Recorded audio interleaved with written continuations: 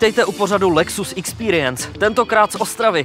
Já jsem Richard Tesař a dnes si budu povídat s fotbalovým brankářem Janem Laštůvkou. Ještě předtím pojďme ale na novinky a zajímavosti ze světa automobilky Lexus. Na úvod vás zavedeme do historie.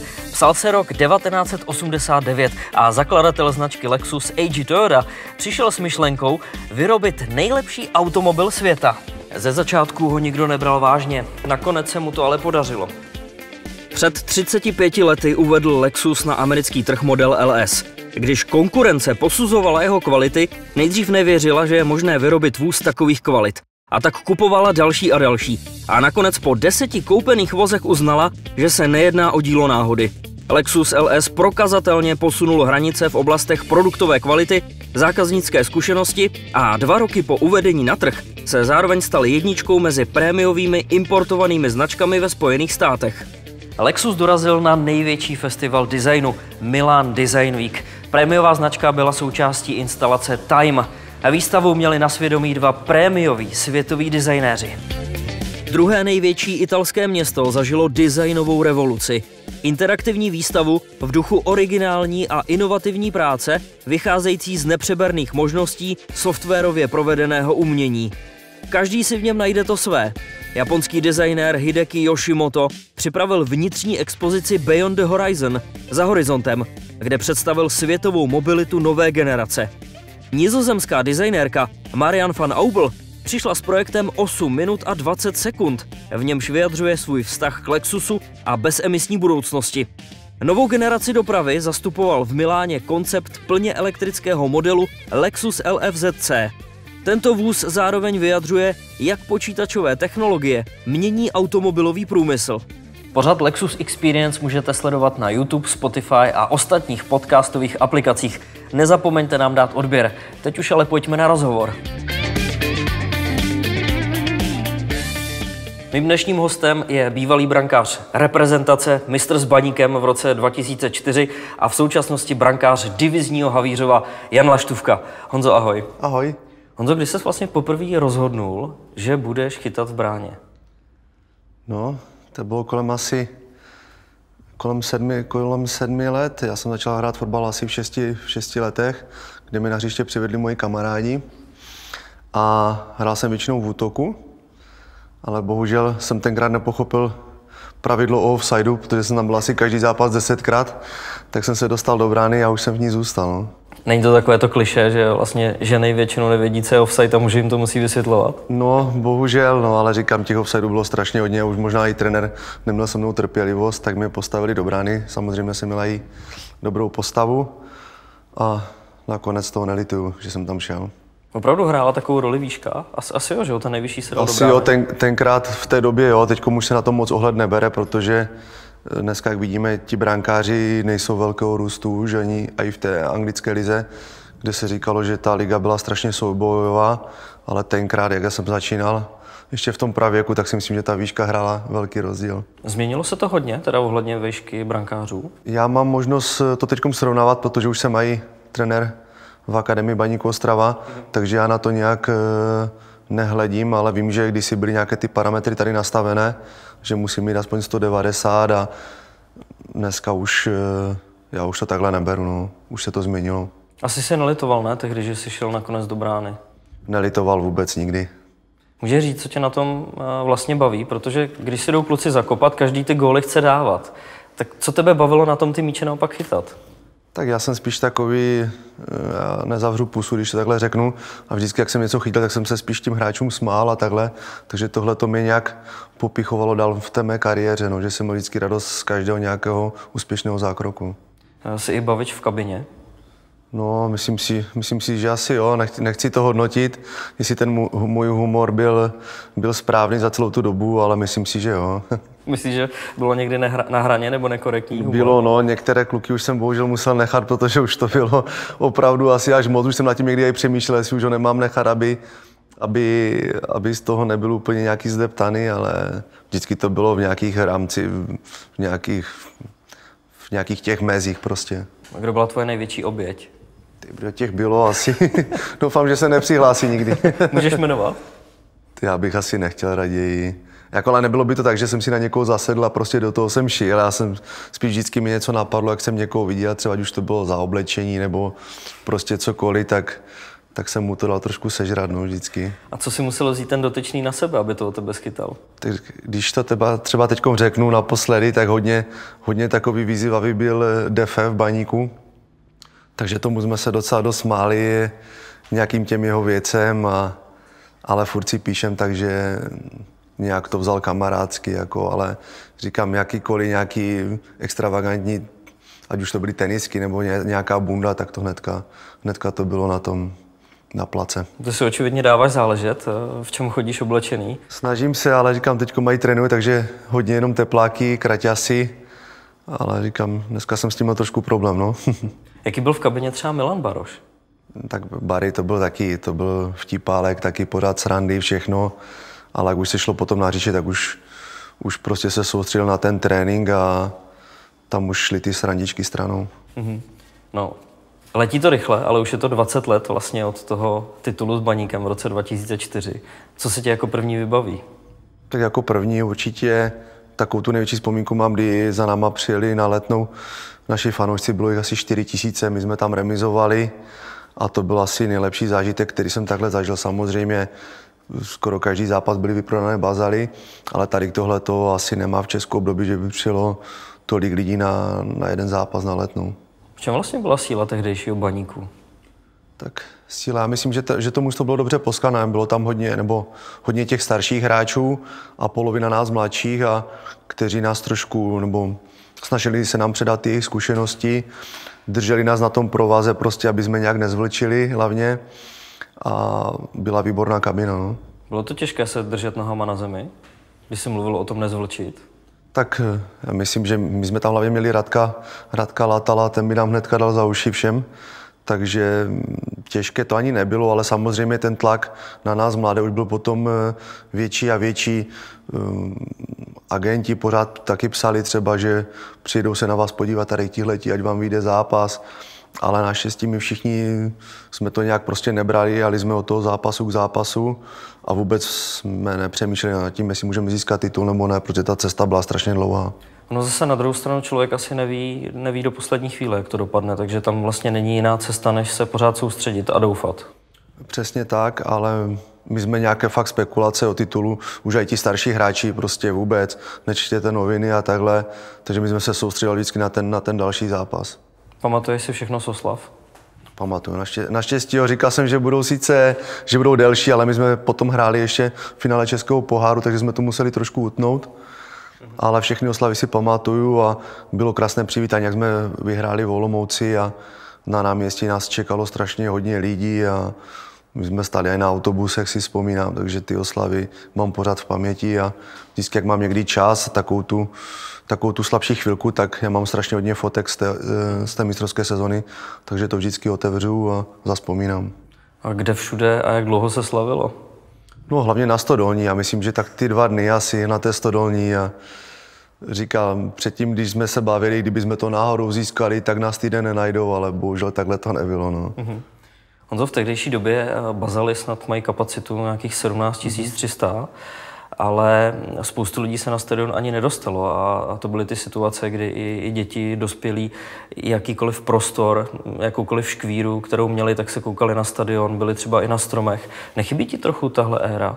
Samozřejmě ty bazaly byly specifické tím úplně tou atmosférou a já si vzpomínám, že asi po tom třetím kolem začalo být nějak vyprodané a vzpomínám si, že já jsem kupoval i lístkům, eh, lístky kamarádům za 10 korun, to byl nějaký sektor P1, myslím, že v tak, někde v, rohu, v rohu stali 10 korun a pak už byly několikanásobně dražší a už se prostě nešlo dostat na ty bazaly. My si vzpomínám, třeba jsme měli trénink vždycky po zápase ještě v pondělí a tam už stály prostě fronty až, až dolů skoro do centra Ostravy, aby ti lidi si mohli koupit ty lístky. No. Takže to bylo takové úplně, že my jsme už věděli od pondělka, že bude vyprodané, každý se na ten zápas, na ten zápas těšil. No. Vy už na bazalech nehrajete, ale kdybychom to měli vzít obecně, tak máš pocit, že ta doba se změnila, nebo má každá éra eh, něco svýho? Tak víme samozřejmě, že v, eh, nejenom fanoušci, ale všichni ti, ti lidé, kteří na ten, na ten baník chodili, chodili hlavně i na ty bazaly, protože tam byla taková ta, ta historie toho klubu, jak už tam hráli s tím Bayernem Mnichov a všechno a tady v těch Vítkovicích je to sice hezký stadion, ale bohužel ne fotbalový. A já myslím, že Ostrava by si ten by si ten návrat na Bazali určitě zasloužil. No. Hmm, určitě. Určitě se o tom ještě povojíme. Ty jsi o, po tom titulu s Baníkem odcházel. Byla nějaká varianta, že by si zůstal ještě? No, tam jedna varianta ještě tam byla. Já jsem měl nějaké jednání ze Sampdory Janov, ale tam jsem to spíš vycítil takové, že mě kupují jakby do budoucna, že bych byl třeba dva, tři roky, bych byl v baníku a to neřekl bych, že by mi to nedávalo smysl, ale prostě necítil jsem od nich takové to, že mě chcou hnedka. Prostě kdyby třeba řekli, e, přijdeš, budeš nějakou přípravu a pak se uvidí, jestli zůstaneš nebo by se zvrátil do baníku, tak s tím bych asi souhlasil, no ale oni mě chtěli rovnou nechat na nějaké, já nevím, třeba dva, tři roky v baníku Ostrava. A tak s tím já jsem nesouhlasil, no a pak z ničeho nic přišla nabídka od toho Šachtěru Doněck a ta byla jako zajímavá hlavně i pro klub si myslím. Pro mě to byla taková velká neznámá, protože jsem nevěděl, do čeho jdu, ale říkal jsem, že kdybych tam měl, postoup, kdyby tam měl přestoupit, tak prostě chci vidět eh, město a, a to zázemí. No. Což, eh, což mi bylo splněno. My jsme tam letěli s agentem a i s panem majitelem baníku tenkrát. A prakticky za, za půl dne jsem byl rozhodnutý, že to chci zkusit. No.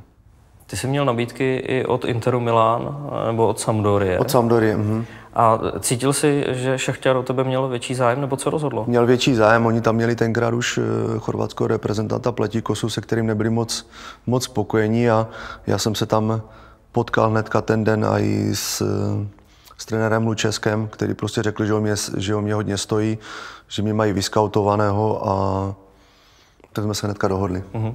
Předpokládám, že titul s baníkem asi jen tak něco nepřebije, ale jak se ti slavili tituly na Ukrajině? No, tam to bylo taky, taky velice zajímavé. Asi divoké. Asi, asi divoké hodně, ale samozřejmě tam eh, prezident klubu Rinad Achmetov dělal pro lidi hodně, nejenom pro fotbalisty, ale i pro ty lidi v tom Doněcku strašně hodně a když my jsme získali titul, tak tam přihlásil úplně ty největší, největší hvězdy showbiznisu, ať už eh, z Ruska nebo z Ukrajiny, byly tam velké koncerty a říkám, ten, ten majitel toho klubu dělal nejenom pro nás, ale pro ty lidi úplně maximum. No. Hmm. Honzo, eh, cílem každého fotbalisty je zahrát si anglickou ligu. To by se to povedlo s Fulhamem. Jaký to byl pocit chytat v Premier League? Tak eh, pocit to byl nádherný, ale uh, možná pro mě ten přestup nebo to hostování bylo v takovou nešťastnou dobu, protože hodně lidí asi ví, že jak jsem hrál na Ukrajině, takže jsme si adoptovali, adoptovali dceru. A bohužel tam byly, byly velké problémy s pracovním vízem, aby dostala, ona tenkrát měla pět let. Takže já jsem tam byl většinu času toho sám a při volné příležitosti jsem lítal do Česka, takže už po nějakých dvou, třech měsících si myslím, že už jsem to ani moc nedával psychicky a ta výkonnost nebyla taková asi, jakou bych si představoval. No. Možná si trochu škoda, když eh, zažíváš svoje nejlepší léta, chytáš v podstatě nejkvalitnější ligu na světě, ale do tohohle jsou i ty problémy, co ti třeba pomáhalo se s tím vyrovnat v tu dobu. No, už moc říkám, já jsem držel nějaké dva, tři měsíce, kdy jsem se nějak soustředoval na to. Myslím si, že i ty výkony nebo ty, těch zápasy, ve kterých jsem hrál, nebyly až tak špatné. Ale pak už, už to bylo takové spíš jenom čekání, až mi, až mi to hostování skončí a, a asi se rozejdem no, tam. No ty jsi eh, chytal proti eh, velkým mužstvům eh, Liverpool, West Ham, Newcastle, Manchester United, Tottenham, Blackburn, Bolton, Watford. Proti jakému týmu byla největší čest chytat? Tak asi ten Manchester určitě. Si vždycky z toho dělám srandu, že, že, že mi dal gola i Cristiano Ronaldo. Říkám, to se nepodařilo každému. Takže jsem si vždycky z toho dělal takhle srandu. Ale samozřejmě ten Manchester, ten, to byl vždycky klub, kde byly nesmí, velké hvězdy a asi tady tenhle ten zápas. No. Si jsme ho prohráli, myslím, že 2-1. Ještě gol mi dával Ryan Giggs, takže... A Cristiano Ronaldo dával gol v 88. minutě. Tečovaná střela, no, bohužel.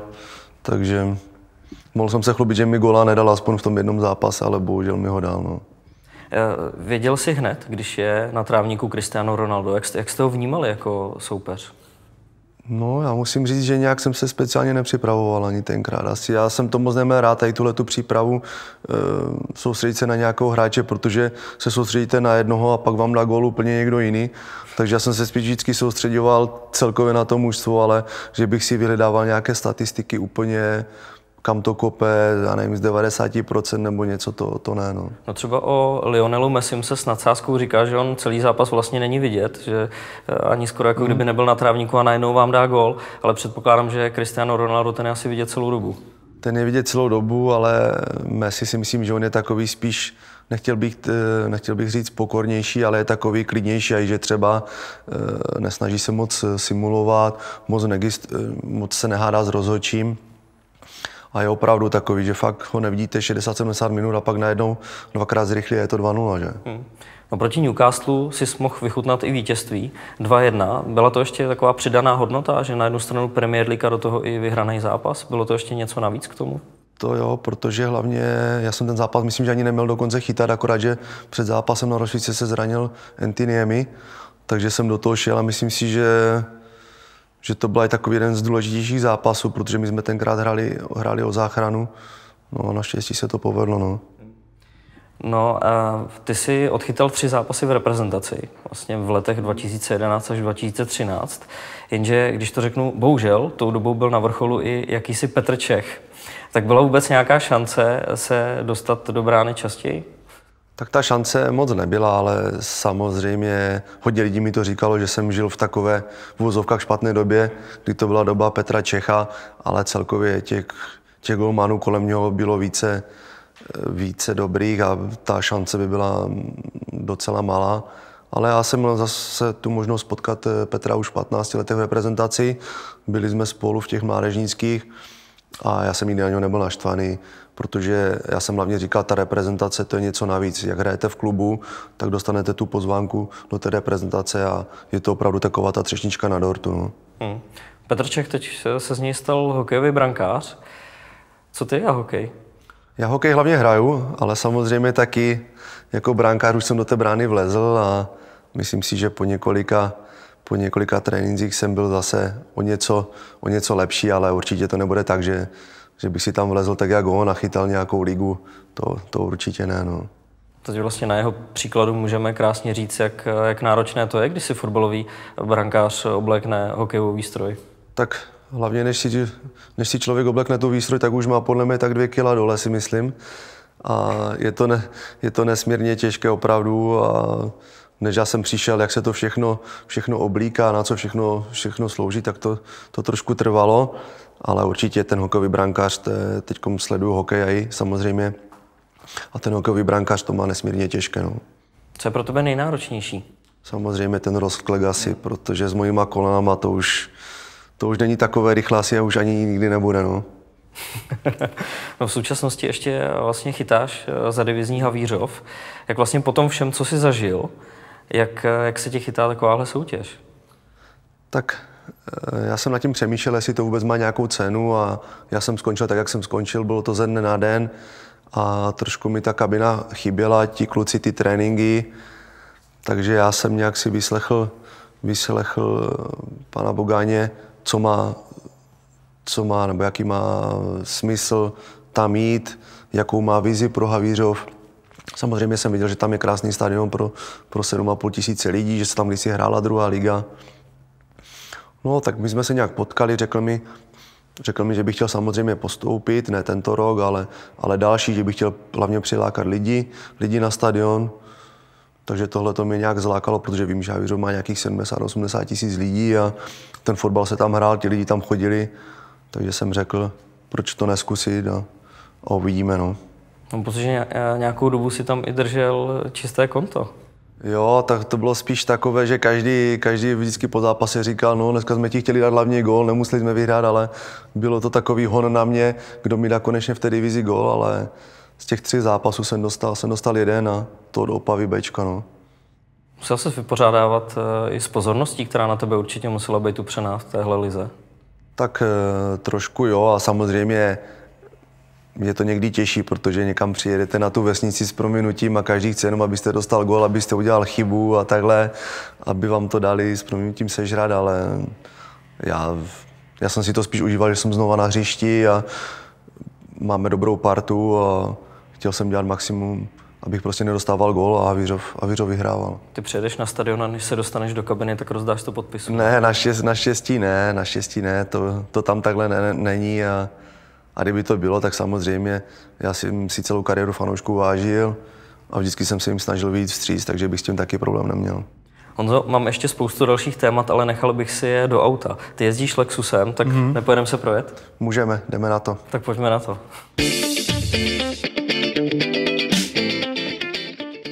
Tak Honzo, děkuju, že jsi mi půjčil svoje auto. Nemáš zač, doufám, že mi ho neťukneš nikde. Já doufám, že ne. Jedem v Erixu 350C. Jak se ti líbí tohle auto? Tak já jsem hlavně maniak na velké auta. Já jsem měl vždycky hlavně velké auta a jsem rád vůbec, že jsem dostal tady tohleto auto a jezdí se mi měl fantasticky. No tím, že je to 350H, tak eh, je to full hybrid a nemusíš to dobíjet, tak ti tohle vyhovuje. Já jsem rád, že nemusím dobíjet. Já už jsem měl nějaké, které jsem musel, a, nebo které jsem měl nabíjet, ale to je větší komfort za mě. Jak dlouho vlastně spolupracuješ s Lexusem? Ty už podle mě dva roky asi.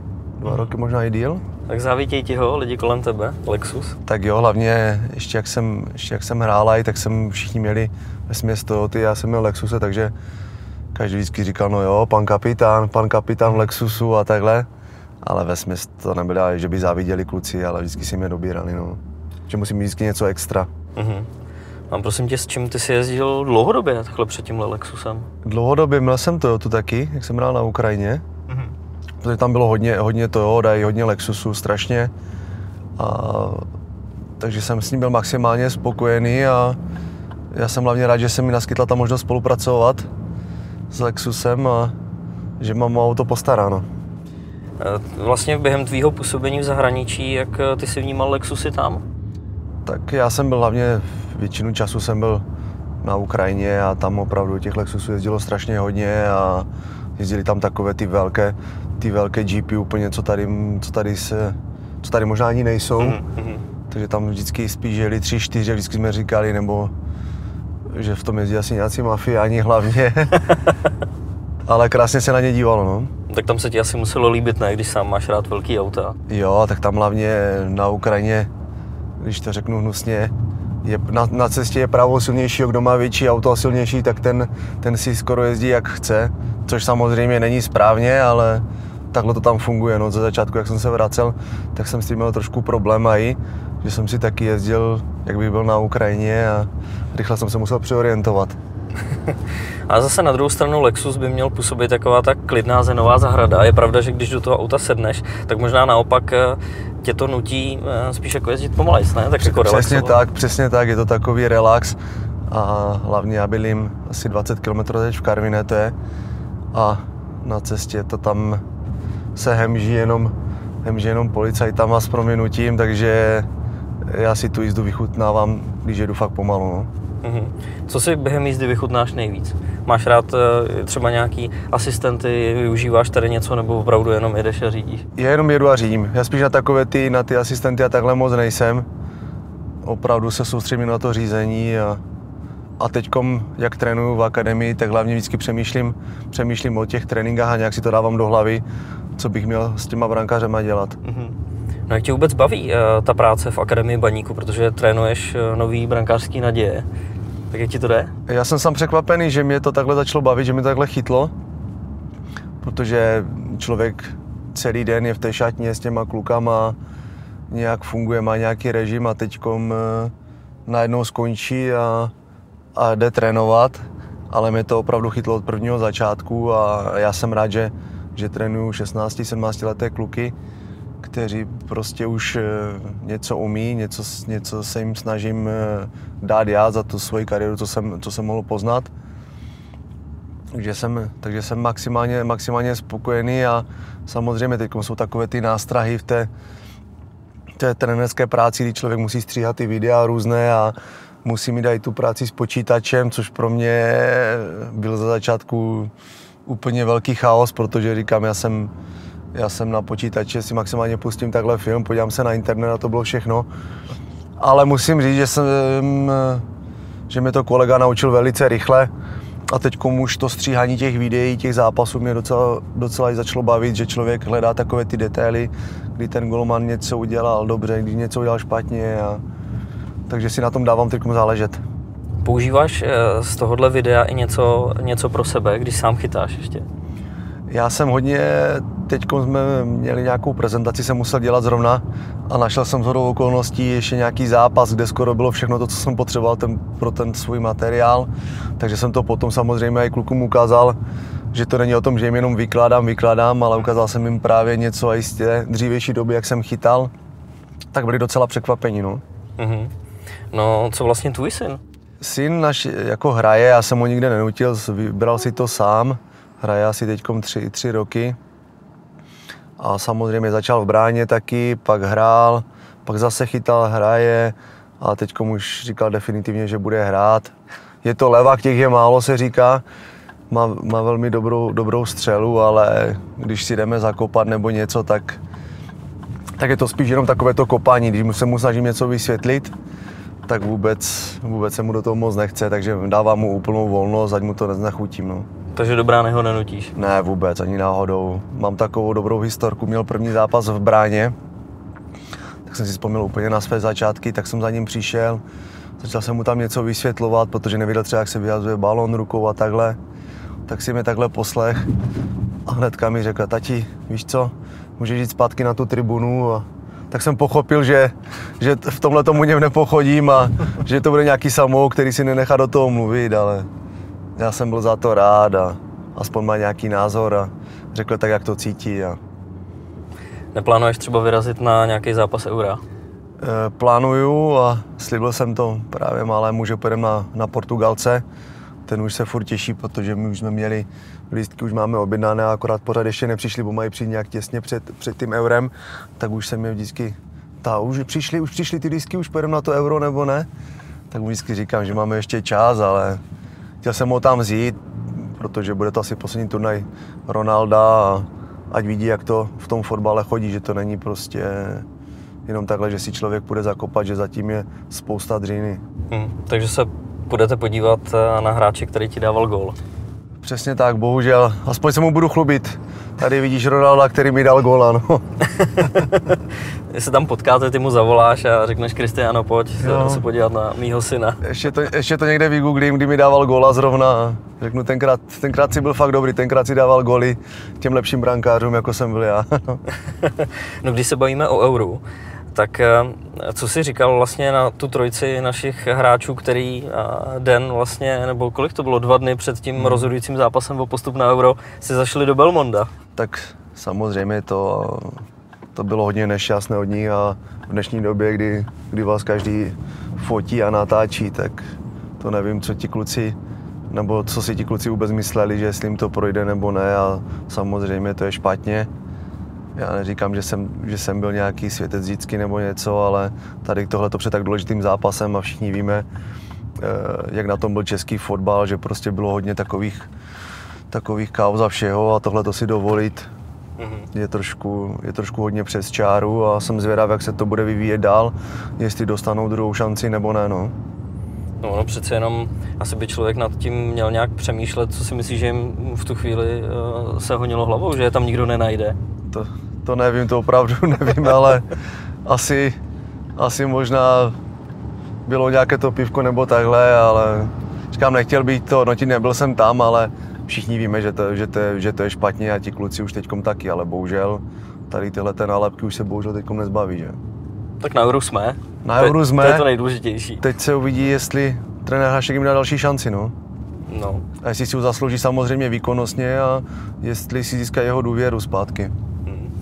Jak je na tom baník vlastně s brankářema? Tak baník s brankářema si myslím, že Jirka Letáček chytá, chytá velice dobře.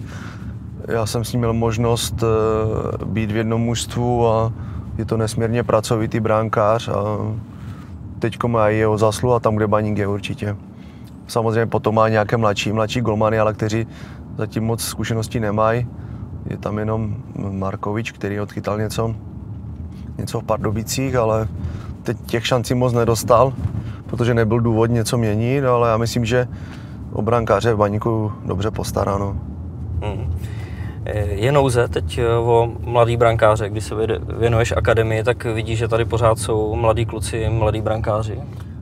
Nouze právě není, ale máme to docela těžké, protože když se podívám na, na věk golmanů Váčku, tak eh, tam to je, myslím, že 24, 23, pak tam máme hrubého nahostování, který má 19, 20 let, Kubný 20, 21 hmm. nebo 20, takže to je docela zapeklitá situace, ale my to máme naštěstí v akademii posunete tak, že za ty, za ty 19 letech chytají kluci, kteří mají 17, takže ti ještě můžou chytat klidně rok, dva a pak by se mohli posunout, ale, ale nouze zatím není, máme tam šikovné kluky, kteří jsou pracovití. No Honzo, teď to aktuální téma, ožehavý. Slušel by baníku nový stadion? Tak to je, to je jasná věc, to prostě, když se to nějak nerozhodne, tak už se to nerozhodne nikdy. Já myslím si, že teď je ta ideální doba, baník hraje nahoře, lidi chodí na ten stadion, tak a ukazují, fanoušci pořád ukazují, že jsou za mě nejlepší v Česku. Takže si myslím, že Ostrava a Baník by si to určitě zasloužili a já doufám, že to dopadne na těch bazalech a bazaly znovu ožijí. No, baník zpátky na bazalech, kdybychom si to takhle měli říct, tak eh, to by se snad ještě vrátil do brány, ne? No, za nějakou starou gardu tak možná. Nemáte nějaký takovýhle stráz, nechystáte občas? Za, zatím ne, ale myslím si, že teď, nebo máme mít nějakou, nějakou večeři, myslím, že 20 let od titulu. Mm-hmm. Myslím, že to má být za dva týdny takže samozřejmě určitě půjdu, protože některé spoluhráče jsem neviděl dlouho. S některými samozřejmě už jsem se potkal, protože už jsem měl možnost eh, hrát silvestrovské derby s Vítkovicema, takže tam jsem pár kluků z mistrovské sezony viděl, ale některé kluky jsem neviděl fakt strašně dlouho. No. no s kým se vydáš nejvíc? Ty brďo, nejvíc takhle z té mistrovské potkávám Aleše Neuwirta, protože ten pracuje tady v, v RFAčku takže toho Zdenu Pospěcha jsem viděl taky. A to je tak skoro všechno. Pet- Petra Drozda, to taky, no. Ale říkám třeba Libora Žurka, toho jsem neviděl strašně dlouho. Ještě Míru Matuševiče, bo teď jsem začal v tom Havířově. Takže toho jsem taky potkal, no. A jinak, jinak strašně hodně kluků jsem neviděl, možná 10-15 let, no. Hmm. Co tě čeká Honzo dneska ještě? Dneska, no, ještě musím na trénink do akademie, už se těším, protože budeme mít nějaký, nějaký rozbor zápasu včerejšího, mm-hmm. protože jsme včera hráli a, a potom, potom jedu s malým na zápas, jdu se podívat, jak, jak na tom je, jestli dá nějaký gol, protože vždycky říká, že dá minimálně tři, čtyři a dneska vyhrán, tak jsem mu říkal, že musí být v takových prohlášení obezřetný, aby pak nebyl zklamaný, jak prohrajou. tak se jdu na něho podívat, no ale nebudu mu do toho kecat, protože už potom bude říkat, že už jsem trenér a že mu do toho mluvím furt a všechno takže se jenom budu dívat a věřím, že nějaký gol dát můžu pochválit. No a když už ty goly nechce chytat, tak je aspoň musí dávat, že? musí dávat, no. No tak Honzo, tak já ti přeju, ať se ti daří. Děkuji, že moc. jsi na nás udělal čas. Děkuji taky. jsme se takhle s tebou mohli svíst a ať se ti prostě daří ve všem, co děláš. Děkuji moc, super. Z dnešního dílu je to vše. Pokud vás Lexus Experience zaujal, nezapomeňte nám dát odběr na YouTube a podcastových aplikacích. A u dalšího dílu se s vámi těším opět na viděnou a naslyšenou.